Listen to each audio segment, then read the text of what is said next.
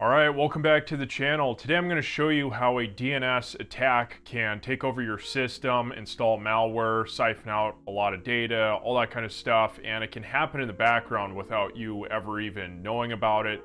If it's a good enough piece of malware, it can even bypass your firewall, your antivirus, all that kind of stuff.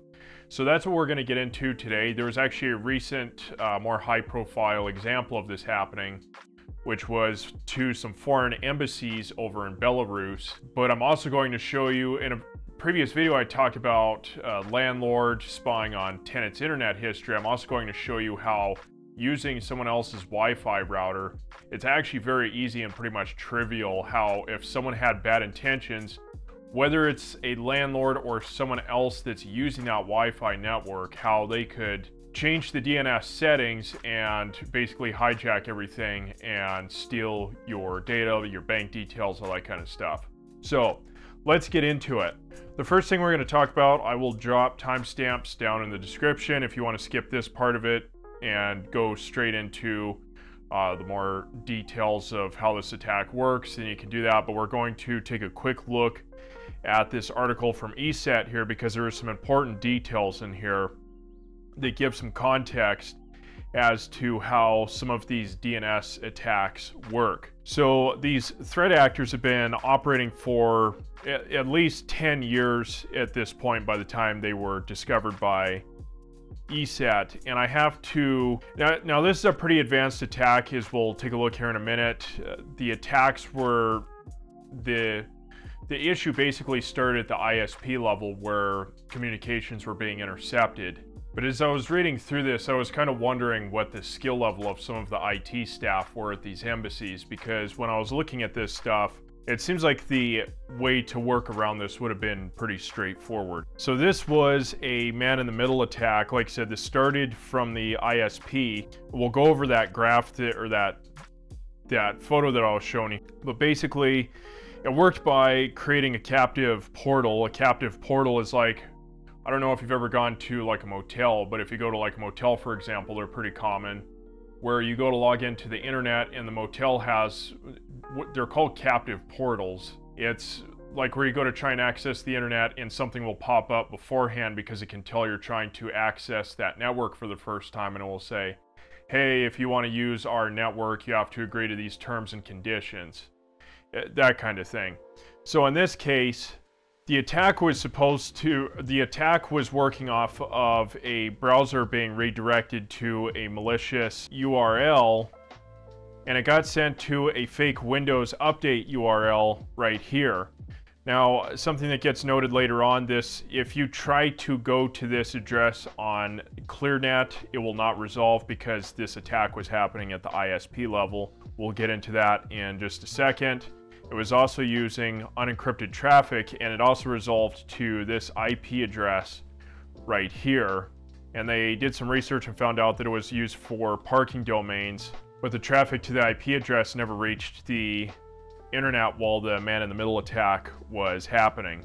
And the article also mentions both DNS resolutions and the HTTP replies were injected in transit, probably at the ISP level. So as you go further down here, you can see the malware got installed through a fake Windows update. They have a photo of it here. So when this redirect happened, this pop-up came up saying, hey, there's this update that needs to install. This was a fake update. It looks real, but it was actually fake. And once you the, the people clicked on it, that's what installed the malware onto the system. This malware ended up installing a few nasty pieces of stuff on the system, which was an audio recorder, uh, used some screenshotters, a keylogger, and a DNS backdoor, which basically was rerouting more DNS traffic. Now, we're just going to take a look at a couple other things here. First of all, they, it mentions that these are fake domains. So these are used, it says these are used in a context where DNS queries are intercepted before reaching the internet. So this happened, like I said, the ISP level. They do not resolve outside of the context of this attack. And so the thing with these IP addresses is that they were being targeted specifically, but when we get into, when I start showing you the DNS attacks and how this stuff can work, it doesn't really have to be all that specific. And like I said, it's pretty trivial if someone really had malicious intent to do this kind of stuff.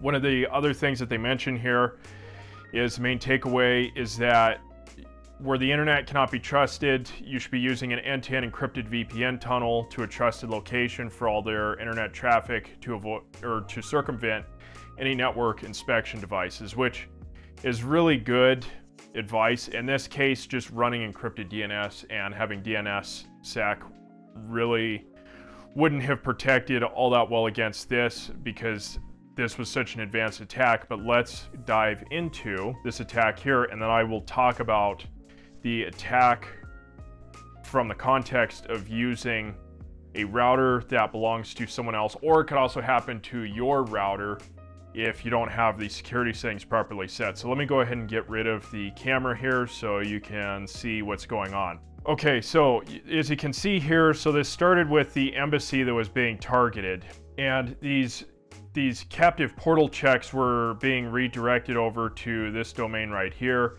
Now this is where the issue started happening. So it was, it was trying to resolve to the DNS, but instead of being able to get to the DNS server, there was a deep packet inspection happening at the ISP. That's where basically there there's suspicion that the FSB was involved with this. Part of that is because of the laws and the connections between Belarus and Russia. But the DNS was basically hijacked at this point and instead it's sent back and redirected to this what looked to be a legit but was actually a fake domain right here which is then where that pop-up came up on the screen that we were looking at earlier on that web page saying hey you need to install this update. And then that's what installed the screenshotter the audio recorder the DNS backdoor and the keylogger and so then it started exfiltrating all of that data over to their command and control server. So this, like I said, this stuff had been going on for a long time. And when I was reading through the article, it sounds like ESET had noticed there was some other odd traffic going on back around uh, 2020. This came out recently, and like I said, I'd be curious to see if this would have even been able to work against an advanced IT team you know, if you take an IT team from somewhere like Belarus, or, sorry, not Belarus, somewhere like the US or the UK or Germany or someone like that, somewhere where there's proper IT practices being exercised. Now, let's take a look at how this attack can work, how you can have your DNS taken over, and you can have your personal data stolen if you are using someone else's router. Like I said, eh, in that video that I was talking about with the landlord, you should never use someone else's networking equipment. You should always have your own stuff that you have configured yourself. You have set your password on it. You know every device that's connected to your Wi-Fi if you have Wi-Fi enabled. You know every device that's connected into Ethernet. Super important. So let's go over that here real quick. So let's say we have a router here. This is a really shitty looking router. I'm still trying to get used to using this new uh, drawing tablet that I have. So most routers, once you connect to the internet, or once you connect to the network, so once you connect to the network, you can basically get access to where you could log into the router if you wanted to. Now, a lot of routers by default come with really crappy security settings. So you might have admin as your default username and then password. Literally for some of the routers that you buy off the shelf, some of the passwords are literally just passwords. Some of them are admin. Typically they tend to be really weak and a lot of people don't even change this kind of stuff. And so let's look at it from the perspective that you share a router with like five other people. Let's say a landlord has a router set up inside of uh, an apartment complex and you're sharing it with like half dozen other people. Now, if someone just, if they're bored and they have a little bit of time, basically they could fire up some flavor of Linux. A lot of people like Kali, but there's, you can use basically any Linux uh, distro to do this and load up some tools on there that will help you basically hack into uh, these routers. So because they're already connected to the network, it's trivial at that point because then they can just go to this address here and they can, one of the more common ones is to just brute force or there's plenty of ways to do this. I'm not going to go into all of it because this video is going to go really long and, and drag on.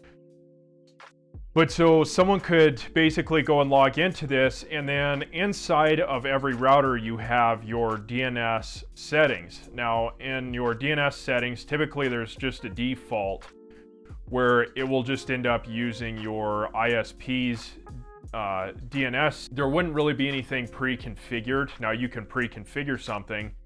I believe Google's public DNS, I think it's either 10. 10.10.10.10 or 8.8.8.8 or something like that. Now you could go into that ISP and change, or you could go into that router and change the the DNS settings. Now, what people could do, and this would apply to either your landlord or, like I said, someone who's bored and they just they have access to the network and they hack in because it's a crappy password. It's not a properly configured router is they could go in there and change this to a malicious DNS requests or, or DNS server. So let's just say, for example, that that's like like 5.5.5.5, where it would go to a uh, resolver that is malicious. It's operated by someone with bad intentions, and then what you'll end up seeing is your your internet traffic will end up getting hijacked. So let's say you want to go to amazon.com. Now this could happen with with like your what in the hell's going on here? Now this could happen with like your bank or really any other website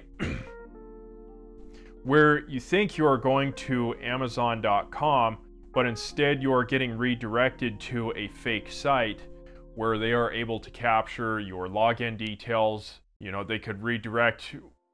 All they'd have to do is see like what bank you go to. So they could see like, oh, this person uses like Bank of America, for example.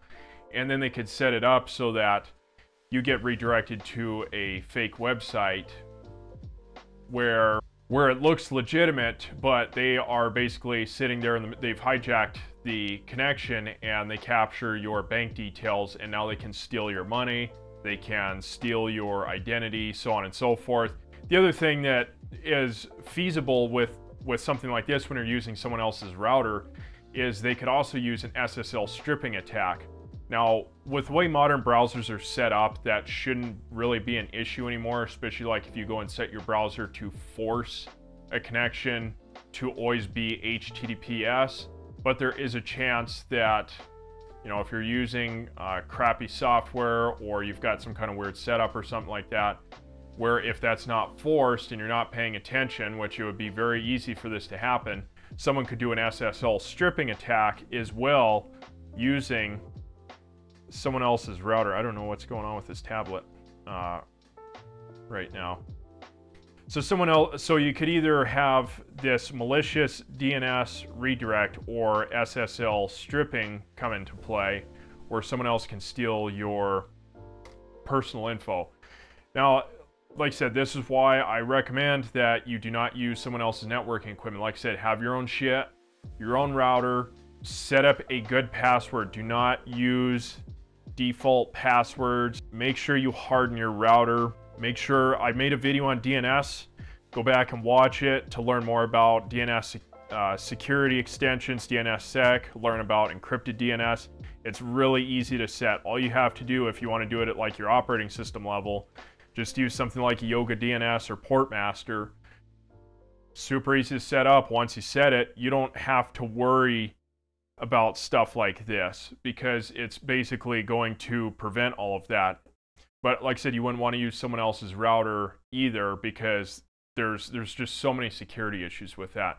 So anyway, that's going to wrap the video up. Thanks for watching. I'll see you on the next one.